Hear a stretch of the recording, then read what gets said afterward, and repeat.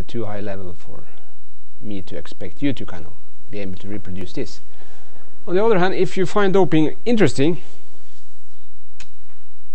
I have a few pointers for you. Uh, if you just go into Google and search for my name and add academia then at the top here you get a link which you can click on and you find my academia page. And as an experiment last year I made some um, uh, I made some research videos. See on the left here there's something called video research presentations. If you go in here there are four videos here which kind of uh, sums up a lot of my work within doping. I've spent a lot of time researching doping actually so if you find this interesting, of course this is a quite a much higher mathematical level than we have done here, but uh, if you're interested you can have a look here. Okay. Uh, are you familiar with academia.edu? It's a very interesting page. A lot of open access research is available for everybody to look at, so you can search for everybody, anything, whatever here. It, it's a, a, nice place to, to find information actually. But um, here you see it's um, yeah, hopefully if you click here now something would happen here. Yes it seems so. Oh yes there's no sound. But there is a video here it seems and you can go to YouTube and see it there. Yes you can. You can change the resolution here. Yes you can. Okay. So you see that's me again. The when we move along here I will start uh, talking about some papers okay? Here you can see there is some. You see this RNC you recognize those don't you? But there's only more of them now so it's, it's a different setting. Okay. Exercise 2 it's a long text here. I don't think we need to spend uh, all the time in the world to, to translate it. It's it's about penalty kicks and as opposed to the model we looked at in the textbook we make a small change here. And that change is the following. Instead of looking at this strategy space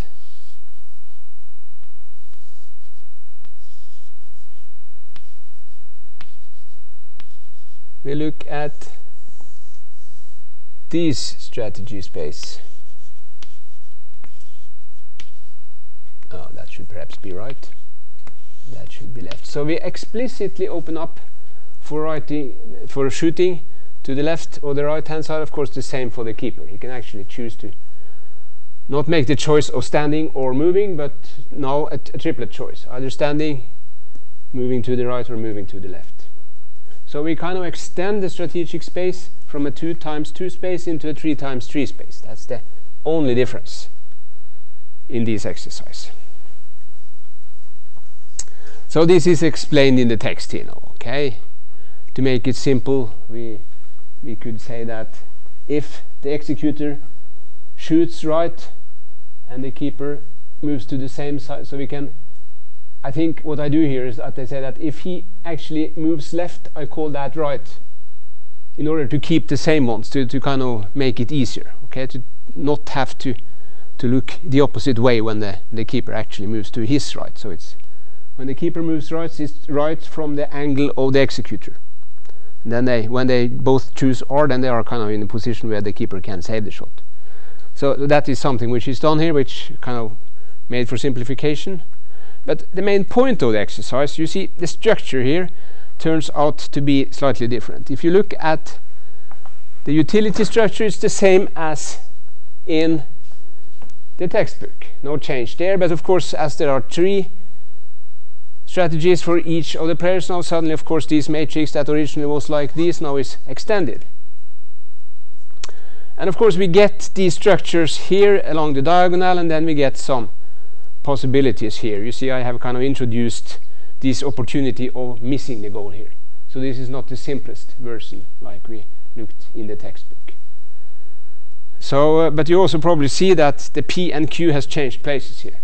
Okay, It was a Q here in the original one, Now it's a P. And uh, so what is a P here was a, is a Q in the textbook, just to confuse you a little bit. Okay, it's kind of done deliberately. So in this case, I've given the matrix, and you're asked in A to discuss whether this seems to be correct. So what was the answer to that?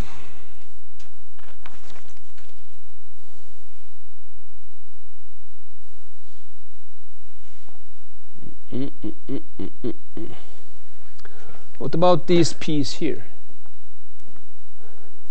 Do you think they are sensible? Have you looked at this? In, they should not be sensible. Okay, it's uh, uh, what's happening here. When we are up here, the executor shoots in the middle of the goal, and the keeper moves. So these, if these should be sensible. This P should mean that he kind of saves with his legs. Okay, but uh, I don't think the model opens up for that. So it should be a one here and a one here. Okay, that's actually an error in this this one here. Again, as I said, this is what I do at exercise level, not at exam level. Okay, so just don't don't worry. Okay, you will see when we go into the exam exercises that it's much simpler than we see here. So there are some differences according to the model in the textbook. P and Q have saved there is an error in the matrix. Um, and of course the main difference is that we move from a two strat strategy space into a three strategy space. That's kind of the big difference. And then of course in order to find the Nash equilibria here you have to kind of make the same type of assumptions as we did in the textbook and it uh, kind of ends up with uh,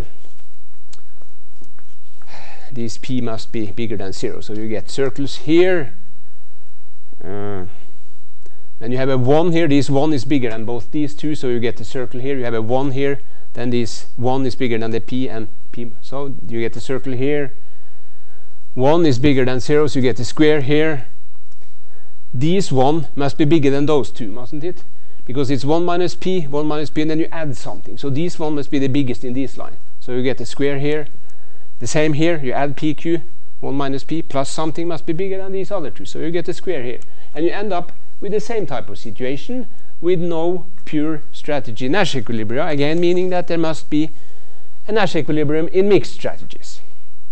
So you see, the idea of this exercise is kind of to, to tell you that if we make our very simple original model more complex, it doesn't really change the basic structure. So you end up with a game where the fundamental logic as we kind of see it intuitively that the keeper must not guess where we shoot and we must not guess where the keeper throws himself okay in that case we know how to get the goal. So that kind of structure is preserved even if we make the game slightly more complex as in this case. Uh, there is a C there, actually a double C, it should be a single C, it's a typo there, where we make some assumptions about P and Q here, and we, we change them such that P equals 1 and Q equals 0. And this is kind of the opposite situation of the extreme case we looked at in the textbook. Because P equals 1, 1 means that all shots hit the goal. So there's suddenly no possibility for the shooter to miss the goal. Remember the case we looked at in the textbook was the opposite. Then uh, suddenly the, the, shooter always missed. Okay, so this is kind of the other extreme. And Q equals zero means that the keeper doesn't save any shots at all. And what happens then is that we get a whole pile of Nash equilibria, which are pure strategic. Turns out, you can look at the solution that all these elements then suddenly are Nash equilibria. So this one, this one, this one, this one, this one, and this one. That's kind of obvious, isn't it? Because now the keeper doesn't save any shots. This, what does this say? M? Ah, it's hard to see. Yeah, this is M. And then it's this is of course Norwegian venstre, which is left, and høyre, which is right. Okay, so so of course if the keeper only saves shot by standing, then you never shoot in the middle. Then you always shoot to the side, and as long as you never miss, you will always get a goal. Okay, so any kind a wide shot here, either left or right, will produce a certain goal, and consequently, the sensible executor would understand these by analyzing these games. So this is the opposite situation of the, the case we looked at in the textbook. Exact opposite, so to speak. So in that case, we had a very bad executor and a reasonably good keeper. Here we have a very, very bad keeper and an executor who always hit the goal if he shoots wide. That produces, of course, the optional always shooting wide. And then, of course, any kind of Nash equilibrium where the executor chooses wide, either left or right, would produce this goal. Of course, he would avoid doing this. So this is not a part of the Nash equilibrium. Any kind of solution in here will produce this goal. And then finally you should discuss the sense in this answer. Of course the sense is not there because there are no such keepers and there are no such executors. If there was, if this was the situation, we'd have to change the penalty kick rules. Okay, if you had shooters who were always hit and so bad keepers, then there wouldn't be much point in having a keeper, at least not in a penalty shootout. And a keeper who never saves any penalty would perhaps not save many other shots either, so it, wouldn't really correspond with reality. Here. And of course, this is kind of what we're discussing in the here. Discuss the model in relation to reality. Of course, the same problems as we discussed when it came to reality holds in this case as in the previous case. Even though this model is slightly more complex, it's not that much more complex. There's only three options from the strategy, strategy space. Of course, there could be much more. The rule itself is questionable when it comes to whether it's a simultaneous game or not. So all these, the same kind of arguments holds here as they did hold when we discussed this in the textbook.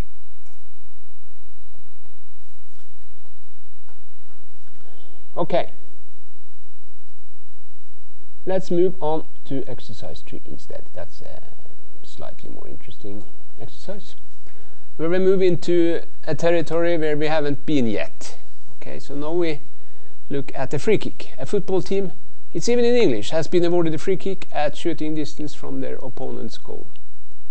Assume that the attacking team A, the team who got the free kick, considers two possible strategies, a direct shot DS or a variant with a pass PV. Okay.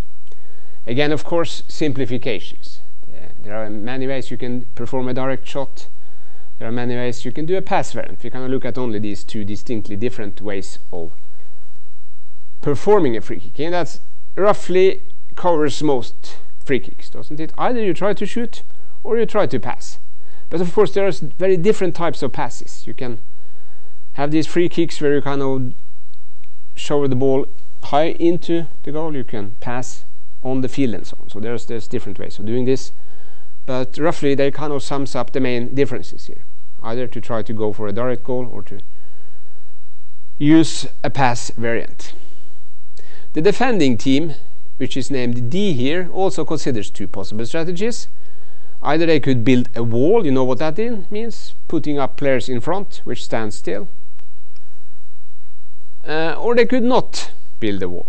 In general, what you see when you watch football is that this wall building seems to be the way to do it if the shooting distance is relatively close.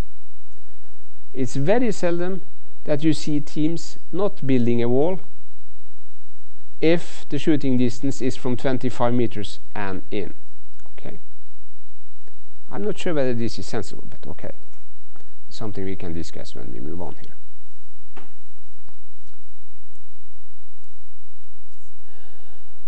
Payoffs for team A is defined by the simple fact that the attacking team prefers either a situation with a direct shot if no wall is built or the opposite. Do you see what I mean there? it's better for the attacking team to shoot if there is no wall. Okay, that seems sensible. Okay, they, they like that. But uh, then, of course, they also like the opposite, which means that if there is a wall, then they they are more in favor of performing this passing activity, which is kind of logical. Both these outcomes are assigned payoffs of 2. All other combinations are negative for team A and are given a payoff of 0. So this kind of defines the payoff structure for the attacking team. So these two pos positive parts produces a positive payoff of 2 and then there is nothing to gain from these other situations. we can always discuss this. The defending team considers the outcome of a direct shot without a wall as the worst. This kind of corresponds with our feeling of reality. We, we, we see all these walls, don't we? So it's a, a situation where you kind of force the team to take off the wall if the shooting distance is 20 meters or something seems like a dangerous situation. So, so they um, don't like that situation at all, at all. So they assign a payoff of zero for this alternative. The case of a wall and a pass is also considered bad, but somewhat less bad. Okay, so there's a payoff positive of one there. The two remaining cases, direct shot with a wall and pass and no wall, are considered the best with payoffs of 2. Then, in question A, formulate a game for the above described situation and address concepts like sequential, simultaneous, perfect, imperfect, and complete, incomplete. The latter parts you haven't learned about. Okay, so this, this one and this one is something we haven't discussed in this course. So this is kind of out of the curriculum. So don't care about that. We can still do parts of exercise A. So let's look at this. We discussed this already, didn't we? That if there is a free kick, it should be a sequential game. Okay, so we need to look at the game tree here. So let's try to to make one. And who are making the first decision here? It's the defending team, isn't it? They will have to decide whether to put up a wall or not. And then the attacking team can observe whether it is a wall or not and make their decision. And their decision is either to make a wall or not to make a wall. So W here means build a wall,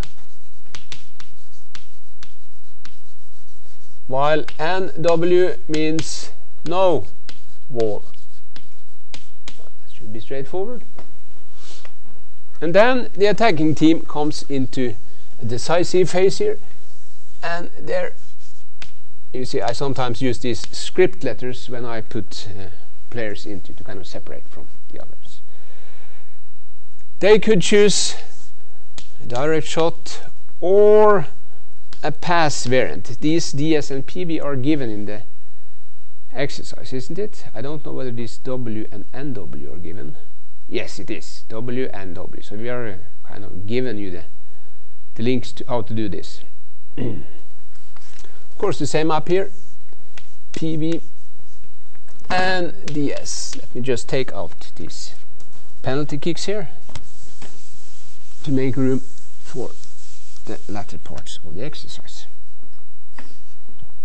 So now we have uh, drawn the game tree here. Now we need to look at the payoffs and the payoff structure is given in the text here so it's a matter about decoding the textual information of these two and one and zeros, which kind of was, was given in the text, and put it on the right place here. So let's do something like this, and let's put the attacking team here and the defending team here. So here are the payoffs. Now in this case, there is a wall here and a direct shot that was not preferred by the attacking team, was it? They didn't like to shoot when there was the wall. They prefer the other situation. And, and according to the information, it should be a two here for the defending team. When there was a pass variant in the wall, this was nicer from the point of the attacking team. Of course, the reason is that when you have a wall here, a lot of players are engaged in the wall. So this opens up for better passing opportunities, it? That's the whole point. There are more players to pass to, which are not covered up by those who are in the wall. Of course, the more people are in the wall, the, the more passing options are available. So this is nicer from the attacking team. The defending team, they was kind of in the middle on this one. It was kind of given a, a difference here. Uh, uh, when there was no wall and a direct shot, of course, that was very nice from the attacking team's point of view because then they could shoot freely at the goal and only the keeper will have to be mastered to get a goal. And the opposite here. So these numbers re reflect the information given in the text, basically. Of course, this is something you will have to kind of perform at an exam, being able to decode the textual information description and put it into a game. Unless I'm very nice and give you the game figure instead and ask you to comment on it. Okay. So now we can use our back rolling procedure, which, which often is referred to as the Zermelo algorithm, by the way. I didn't, don't know whether I've told you that. But when you backtrack these game trees, kind of maximizing here and maximizing there, then you kind of do something which often is called as performing a Zermelo algorithm. It's named after a Swiss mathematician called Zermelo, who actually did some very early game theory work in the 1920s. Maybe the first serious game theoretist, I would say. Okay, so we start at the back here on the top here and look at the attacking team. They could choose a pass variant that produces 2. They could choose a direct shot that produces 0. 2 is better than 0, so they would double mark this branch. Then we move down here. Uh, if the defending team chooses no wall, they can choose either a direct shot that produces 2 or a pass variant produces 0. 2 is better than 0, so we get a red line there. Then we backtrack to the start and the, defending team could choose a wall. If they choose a wall, the attacking team choose a pass variant. In that case, they get 1.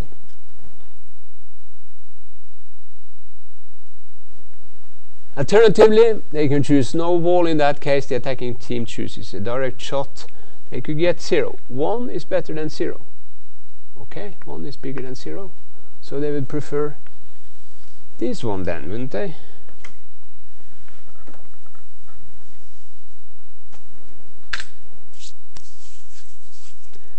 Now we have performed B. We have found all Nash equilibria. There's a single one here, and it states the following. The defending team build a wall. So we assume here that there is shoot shooting distance, okay? So, but that seems reasonable. That's what we see. But the next part of the Nash equilibrium is not what we see, is it? Because we see then the response from the attacking team should be to use a pass and not to shoot.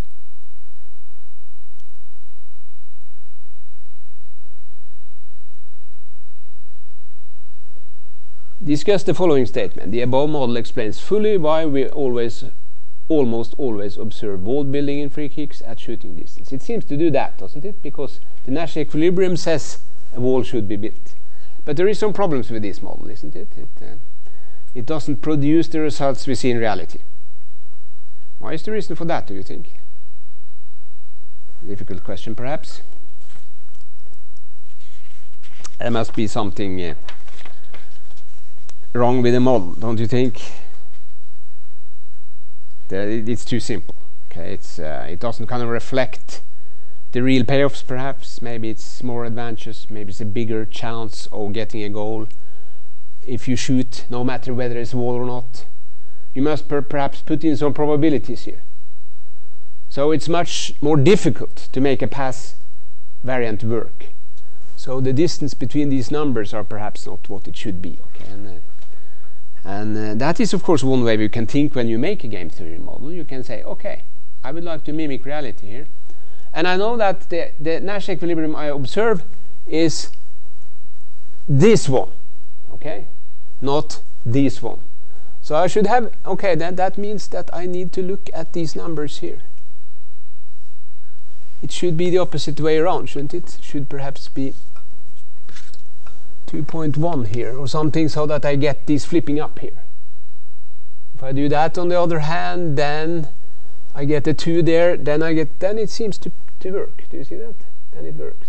Okay, because then the next stage then, if I have a, a line here, that one is bigger than that one, then I get 2 up here on the defending team as opposed to 0 and 2 is bigger. So then I get these as the Nash equilibrium. So that works. But of course, this is too silly. You have to put some logic into this. Okay, so this is kind of a reversed engineering way of doing game theory, which of course you can do, but is perhaps not what we recommend. Uh, the basic, the best way to do this is kind of to make your model in the right way in the first place, and not kind of make the result you would like the model to give to kind of govern your model. But it's possible, as you can see. That's kind of a trick. Okay, so what's left? There's a final exercise here. We're given a table with two teams N and B and they have some strategies N, B and A. N and A for the N team and B and N for the B team. And there are some probabilities. This is probably captured from the textbook. It seems to be this Brazil no Norway game. No it seems to be the Belarus Norway game actually. Table 4 describes uh, imaginative football match between the teams N and B. Le, uh, team N can choose strategies in the strategy space N A, while team B can choose strategies N B. Explain the meaning of table 2. Is it reasonable to assume that one of the teams is better than the other? The meaning is as follows. Okay, we here assume that each of the teams have a strategy space to choose from. And given that they choose one, the one team chooses one strategy and the other team chooses another strategy, then we assume that the outcome of the match can be described probabilistically by a probability distribution.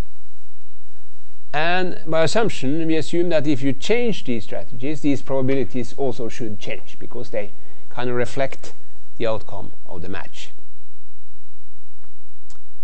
Is it reasonable to assume that one of the teams is better than the other? Yeah, maybe it is. Let's look at the probabilities here then. Uh, the N team here has a probability of 0.8 of beating the B team, while the other way around is 0.1. So in this line, they are.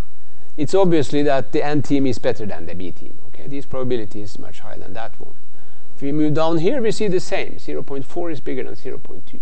But here they are equally good, and here they are equally good. Okay, so it seems uh, reasonable, in my opinion, to say that the N team is better than the B team, but because for half of the strategies they actually have better probabilistic possibilities, while they are kind of equally good in these other two.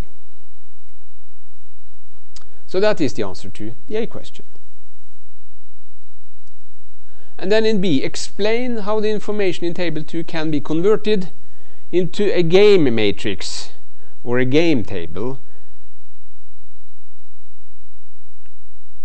as shown in figure 2. So there is actually a figure here. So the conversion has been performed and your task is just to explain how these numbers are computed and that's straightforward isn't it it's just to to see at the number for instance it should be 2.5 for this NB strategy the first line here and of course then you probably see immediately that if you take a point score system of 310 means 3 times 0.8 plus, if you look at the N team, they would get 3.0.8 plus 1.0.1 and that is 2.4 plus 1, 0.1 which is 2.5 which corresponds with uh, the correct number down here. Of course if you're pedantic, you could do this for all these numbers. That would be very nice, but I'm lazy, so I say that's enough. Okay. It's up to you to choose what you do on the exam if this is. Okay, so then we have explained how this information comes up. You just calculate expected point score values given a certain point score system, which turns out to be the 310 in this case. Uh, for each of the team and for each of these four lines that produces eight numbers. These eight numbers are entered at the correct place in this double table. That is one way of answering this question. Find the Nash equilibrium in this game. What is the interpretation of the circles and the squares in figure 2 okay. So here the best reply functions have been calculated. We can check that. They are correct uh, 2.5 is bigger than 1.45 then this is circle there 1.6 is bigger than 133 1 point is bigger than 0.4 and 145 is bigger than 133 and the circles are the best reply functions for player 1 n in this case the squares are the best reply function for player 2 Belarus in this case. And the best reply functions are their optimal choices as a function of their opponent's choices so we find this 2.5 by assuming that Belarus chooses their first strategy, the B strategy, and then we look. If we choose N, we get 2.5. If we choose A, we get 1.45. 2.5 is better. Then we repeat for the other option. So the best reply function tells us our optimal choices for any kind of our opponent's choice. So that is the meaning of these circles and squares.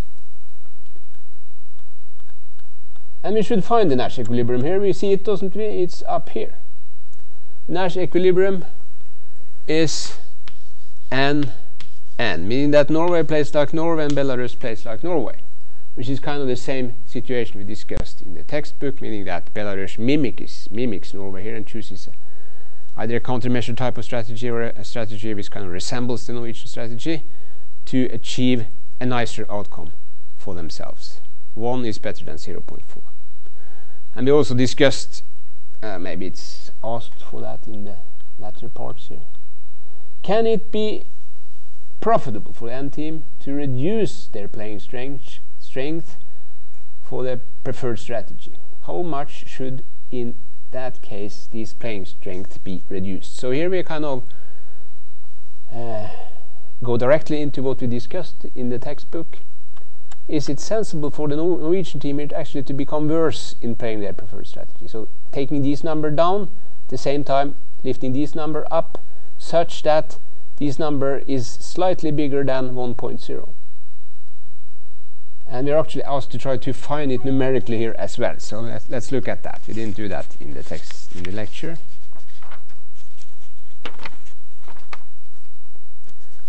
Uh, it's perhaps a misprint here someplace maybe I should mm -hmm.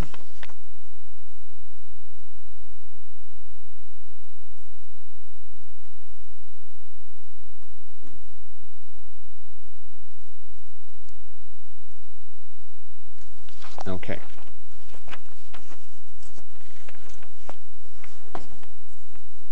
Okay. Uh, uh, if you're good at mathematics, you can solve this as a kind of equational system, but I don't think I want to spend your time on that. So um, instead, let's assume we do some trial and error, okay, and try to look at. We, we kind of know here that in order to achieve this, we need to change this line. And this is the first line in the table on the top here, isn't it? That's the distribution of the quality difference between the teams when they play their preferred strategies. And what we're aiming for now is making Norwegian worse, okay? So meaning that we take this number down somewhat and transfer that either to our opponent or to a combination of our opponent and the draw probability or only to the draw probability. It doesn't, uh, it's easiest perhaps to just transfer probability from this number into this. And let's look at the, the following example. If we change this one to 0.55 and we change this one to 0.35 and we keep this one unchanged, then of course we have taken 0.25 of probability mass here and moved it in there. So we have made Norway worse. Suddenly they are not as good as a team as they used to be and of course at the same time relatively made Belarus a better team.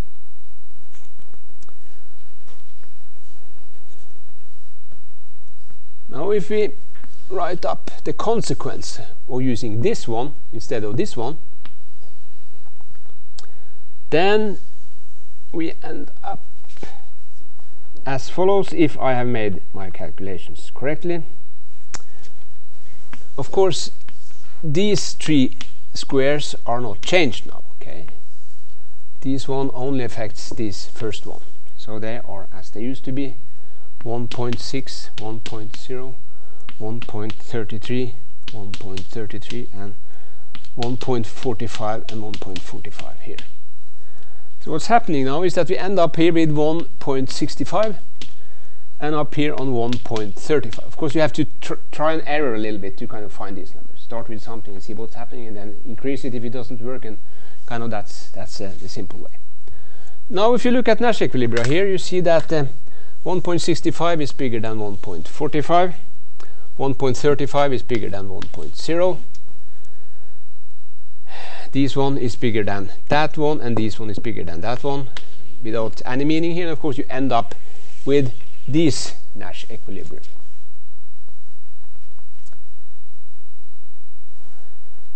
And you see here that Norway comes at least slightly better out. Can you see that? You get 1.65 here.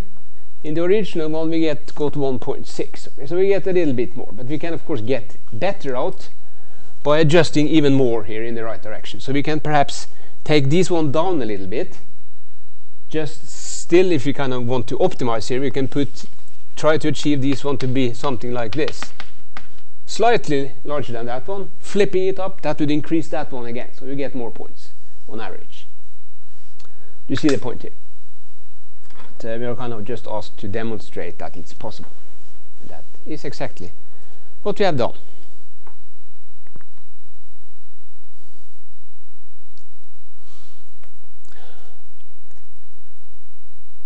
If you want to do this analytically, that shouldn't be too difficult, should it? Now, if you take your 0.8 and you subtract something, let's call it x, okay? And we reduce something from this number. then of course we added to the middle point the same x plus x. So this is now the new probabilities for these two teams. And then we can calculate our expected value, can't we? Based on these variable concepts. So in that case we will get something like 0.8 minus x for team 1 times 3 which is that. And then of course this one is solid. And for team 2 now we will get 0.1 plus x times 3 plus 0.1 times 1 so these are now the expected payoffs for the two teams as a function of the amount we need to reduce these to kind of end up as we want. And what we want to do now is to compare the expected payoff for the Belarusian team, which is this one, and we want to make it exactly equal to 1, don't we? Or actually tiny bit bigger than 1. In that case, we are able to flip the equilibrium from this point up here. Now we can solve this equation, can't we? It's 0.1 times 3, which is 0.3 plus 3x plus 0.1 should equal 1. What do we get here? 0.3 plus 0.1, that is 0.4, isn't it? Move that, it's 1 minus 0.4, it should be 0.6 here. And we have 3x here, so x should be 0.6 divided by 3. That is the strategy of changing the Norwegian performance in such a way that they achieve highest possible expected point score.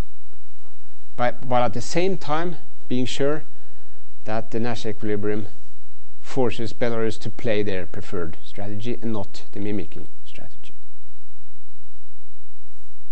So this is one way of doing this. The other way is kind of just testing out. Okay, so this would, would produce. I don't know what this becomes.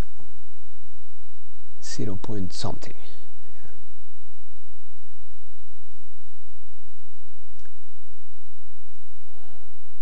Do, you have a calculator? 0.6 divided by 3, can anybody compute that? Yeah, it should become 0.2, you're right. So we should change 0.8 to 0.6 then. That would be the optimal way of doing this, not to 0.55. You can test it if you like. Hopefully this logic is, is correct. Okay, that ended this final exercise set. And now we're into the even more boring part, which is kind of going through previous exams. Okay. So we continue that after the break, I think, and then we continue that next week, and then we are kind of finished, more or less. Okay. So let's take a 15 minutes break and be back at 12:10.